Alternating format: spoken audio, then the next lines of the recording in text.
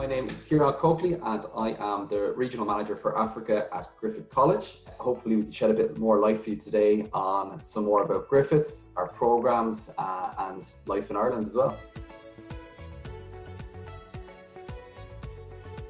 Our programmes in Griffith are very industry focused. We design the programmes alongside industry uh, with the one core goal of the learners and then graduates' futures in mind.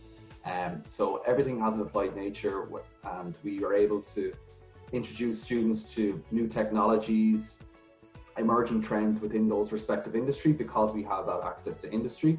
Uh, and students carry out a lot of live projects with industry throughout the program.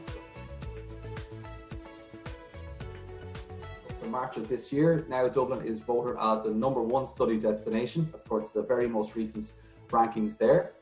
Um, it's very multicultural. Uh, we're very lucky to be home for the Europe, Middle East, Africa headquarters for Facebook, LinkedIn, Twitter, Microsoft, Slack, IBM, Dell, Stripe, and go on and go on. Uh, but with this, that multicultural environment, uh, obviously we have our Irish culture there, which is I'm pretty biased, but pretty great.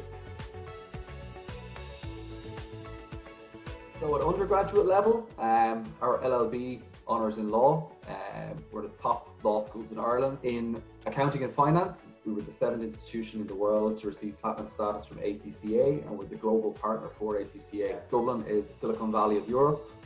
Um, we have all those headquarters for a lot of those multinational tech companies. Uh, 19 of the top 20 ICT tech firms in, in the world have headquarters in Ireland and in Dublin.